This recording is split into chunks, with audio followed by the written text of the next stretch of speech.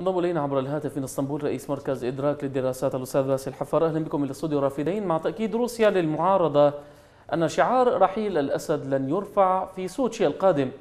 اذا ما جدوى ذهاب المعارضة للمؤتمر؟ أهلا ومرحبا بكم. تحية لكم ولمشاهديكم الكرام. الحقيقة لا تبدو أن هناك الكثير من الجدوى أو من الفائدة التي ستعود على سوريا والسوريين من الذهاب إلى مؤتمر سوتشي. وبعكسه للأسف يعني آه، الروس قاموا في معظم المناسبات السابقة باستهداف الثوار والمدنيين في معظم مناطق سوريا لدى أي رفض للذهاب لأي مناسبة من هذه المناسبات السياسية، وبالتالي هم يضعون الثوار والسوريين أمام خيار إما الذهاب لهذه المؤتمرات التي لا تجر أي فائدة أو جدوى حقيقية وعملية للإنجاز على الأرض، وإما الامتناع عن الذهاب وتحمل عواقب القصف بالطائرات والبراميل وفتح النار وسقوط عشرات ومئات آه، المدنيين بشكل يومي.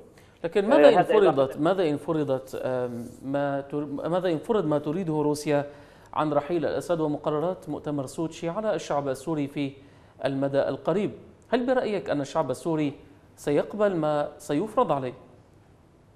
هي البوادر التي على أساسها أو المنطلقات والمعايير وحتى الدوافع التي على أساسها قامت الثورة في سوريا وسارت بهذا المسار في حال أنه لم يتم معالجتها سواء من خلال مسار الحل السياسي الحالي أو من خلال أي مسار آخر فإننا سنكون أمام انفجار آخر للأوضاع خلال فتره قريبة قد تمتد لأشهر أو لسنوات قليله.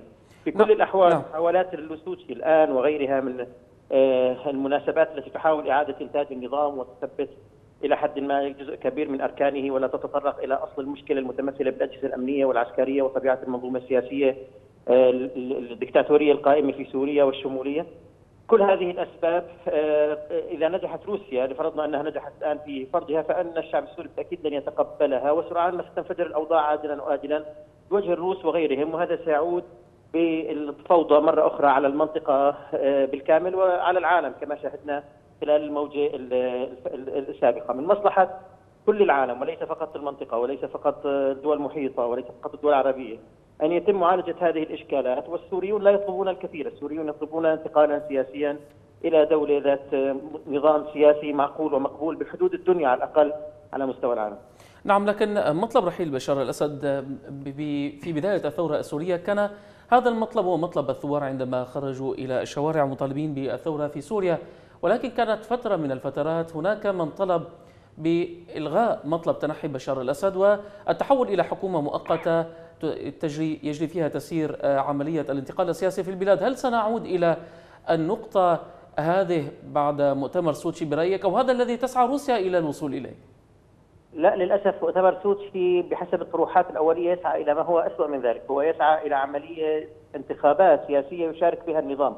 وهذا بحد ذاته يعطي الشرعية للنظام ولا تضمن عملية انتقال سياسي أو تشكيل حكومة انتقالية أو تشكيل أو القيام بأي خطوة إيجابية بخصوص آه، إعادة آه، بناء المنظومة السياسية مقبولة في سوريا. هو يعود بنا إلى ما دون هذه الخطوة التي تفضلتم بها إلى خطوة بقاء النظام وإعادة إنتاجه بشكل أو بآخر والإطفاء الشرعية عليه ويحاولون الفرض على السوريين وعلى المعارضة السورية القبول به.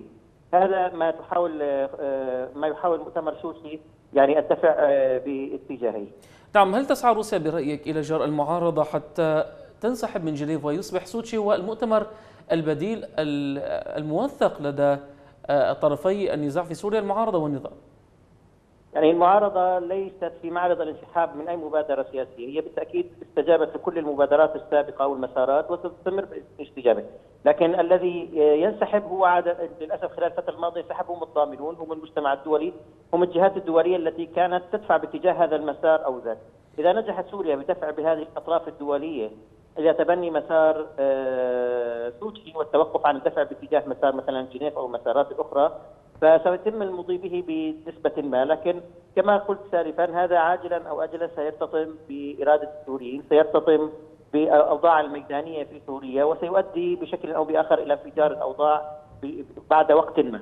هل بعد سبع سنوات من الثورة السورية هل هناك من لا زال حليف للثورة السورية والشعب السوري في حربه ضد النظام؟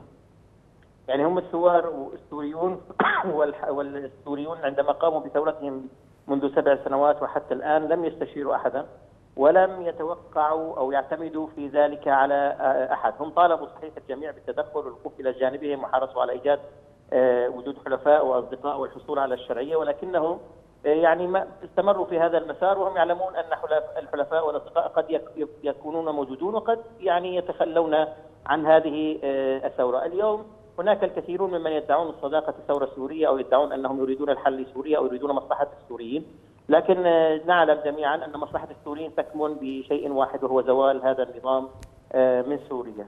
فمن يطالب بزوال النظام من سوريا ومن يسعى لهذا الأمر فعليا هو من أصدقاء الشعب السوري وما عداه فهو إما أعمى أو متعامي عن مصلحة السوريين. نعم الأستاذ باسل حفار رئيس مركز إدراك للدراسات من إسطنبول كنت معنا عبر الهاتف شكرا جزيلا